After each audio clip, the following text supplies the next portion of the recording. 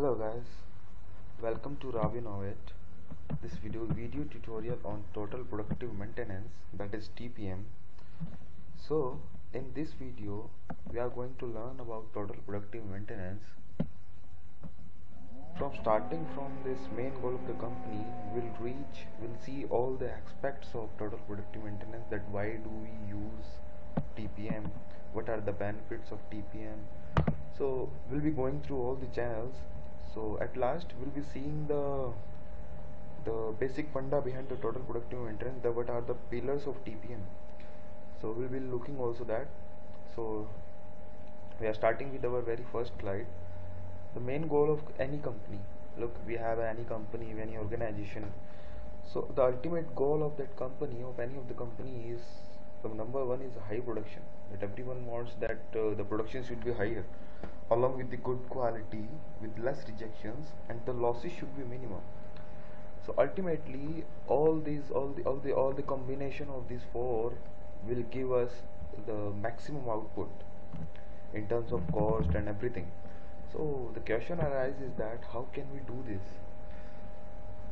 So this is the very big question that how, how can we do this? How can we control all these parameters so we are going to going for the second slide. That is you can see a machine uh, a, a, worker is working, working on its machine with lots of raw material is there and there is uh, oil is spilling from its machine and there are chips from this machine.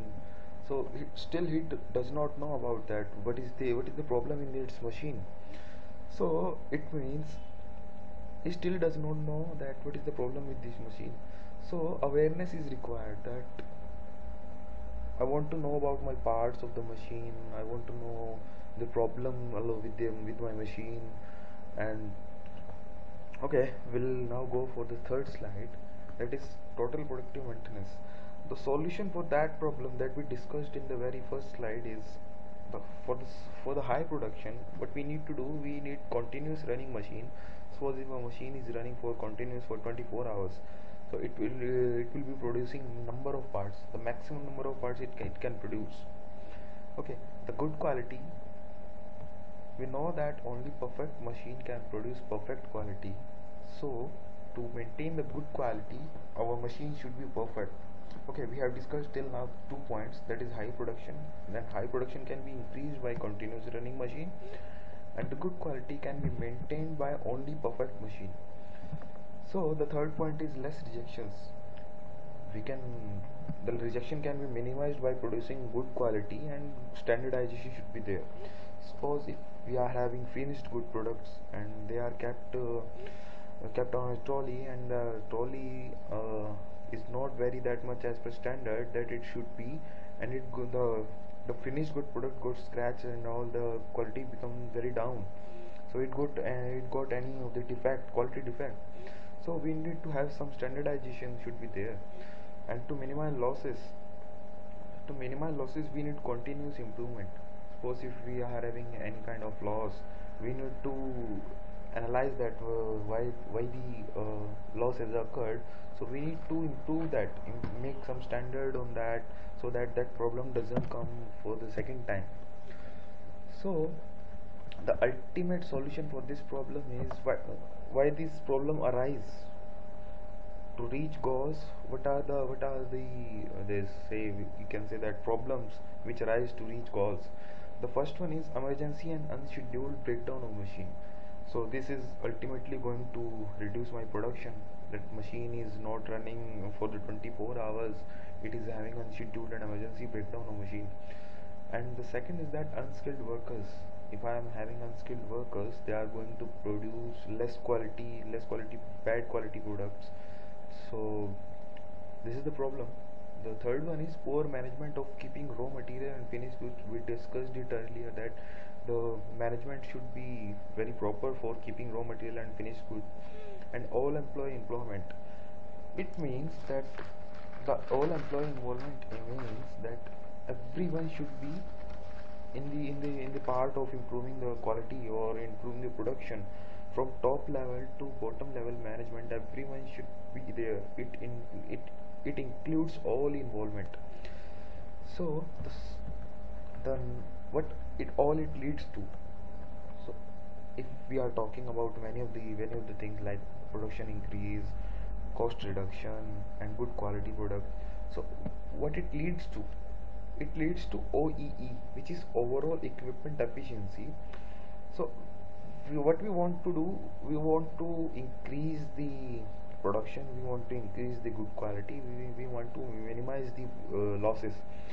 So it reduces it increases the OEE and the problem all the problems it reduces OEE what is OEE overall equipment efficiency. It is the it is the product of avail availability of machine it and performance of a machine and quality of quality of the product.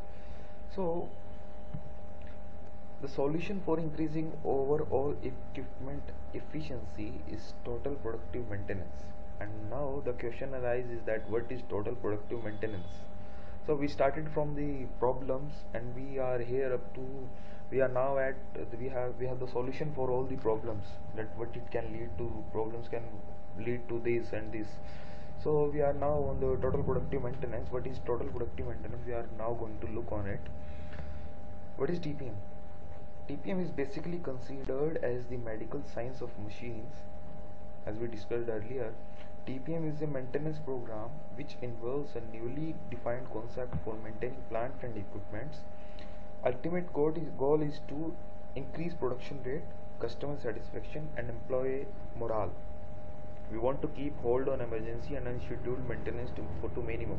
We discussed it earlier that we want to uh, we want to increase the production rate by by keeping hold on emergency and unscheduled maintenance. Uh, and our ultimate goal is to increase production rate. We discussed this earlier. So why do we need TPM again the same question arises uh, we want to reduce the wastage. We want good quality products we want to reduce the cost to increase productivity along with production. Yes ultimately what we want we want to increase production. But to increase production our productivity should not go less. Okay suppose if I am making 100 product products by the help of uh, 3 manpower in 1 hour. So if I want to reduce the time I'll say that I will reduce the time by half an hour and I'll increase the manpower. And suppose I, I take uh, 2 manpower 2 or 3 3 manpower. So I will be having I will be increasing my manpower and reducing the time. So it will ultimately going to give me nothing. So we need to take care of our productivity as well as a production rate. Less rejection in finished good. We want to reduce the rejection in finished good. So there are basically seven pillars of TPM which includes the basic the base base of the pillar of TPM is like a house. We have a base. We have base and then we have walls and pillars are there. So our basement for the TPM total productive maintenance is 5S so we'll be discussing 5S in all, all the pillars in next video. So simply these are the pillars of TPM the first one is autonomous maintenance Kaizen planned maintenance quality maintenance training office TPM safety health and environment. So we'll be looking on the all the all the aspects of the pillars of TPM in the very next video. So thank you guys. Thank you so much for watching. Please like and subscribe my video and my channel Raavinnovate. And please please please be with us for more updated videos. Thank you guys. Thank you. Thank you so much